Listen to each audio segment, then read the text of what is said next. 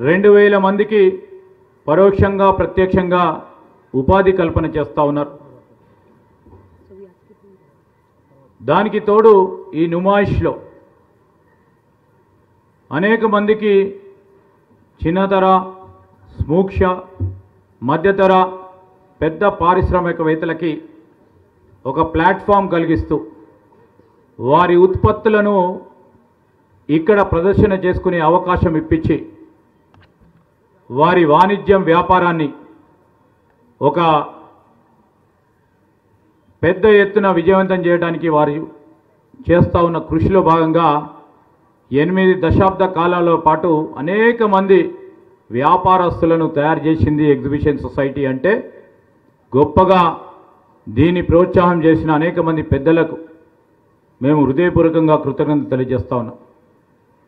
ఈరోజు గౌరవ ముఖ్యమంత్రి గారు రేవంత్ రెడ్డి గారు కూడా మేము ఎగ్జిబిషన్ సొసైటీ అధ్యక్షుడిగా మరి సొసైటీకి సంబంధించిన మరి గవర్నింగ్ బాడీ వారు మమ్మల్ని ఎంపిక చేసిన తర్వాత వారిని కోరటం జరిగింది. సొసైటీలో కొన్ని సమస్యలు ఉన్నాయి. ఆ సమస్యలను పరిష్కారం చేయాలి అని చెప్పినప్పుడు మనకు ఆనిముత్యంలా ఉన్న ఈ ఎగ్జిబిషన్ సొసైటీ మనకు నుమాయిష్ అనగానే ప్రపంచంలో ఎక్కడైనా నుమాయిష్ అని వినిపించగానే హైదరాబాద్ అని గుర్తొచ్చే ప్రధానమైన కార్యక్రమం.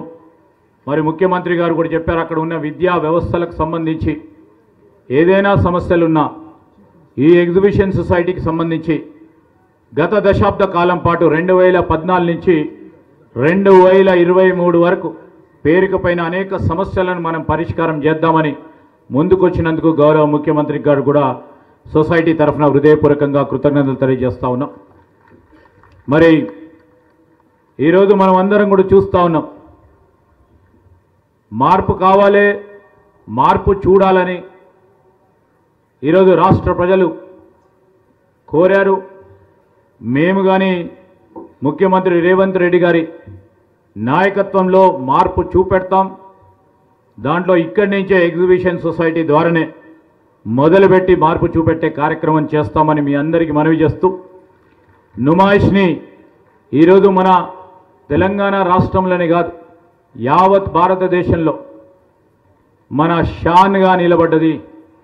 దాన్ని ఇంకా మరింత పెద్ద ఎత్తున ముందుకు తీసుకెళ్ళే ప్రయత్న భాగంలో ఈరోజు ప్రభుత్వం తోడ్పాటు తీసుకొని ముందుకు నడిపించే ప్రయత్నం చేస్తామని మీ అందరికీ మనవి చేస్తూ మరి నుమాయిష్ మరి ఎగ్జిబిషన్ని ప్రారంభించడానికి వచ్చేసిన గౌరవనీయులు మన రాష్ట్ర ముఖ్యమంత్రి పెద్దలు రేవంత్ రెడ్డి గారికి మరొకసారి కృతజ్ఞతలు తెలియజేస్తూ సెలవు తీసుకుంటాను. జై హింద్.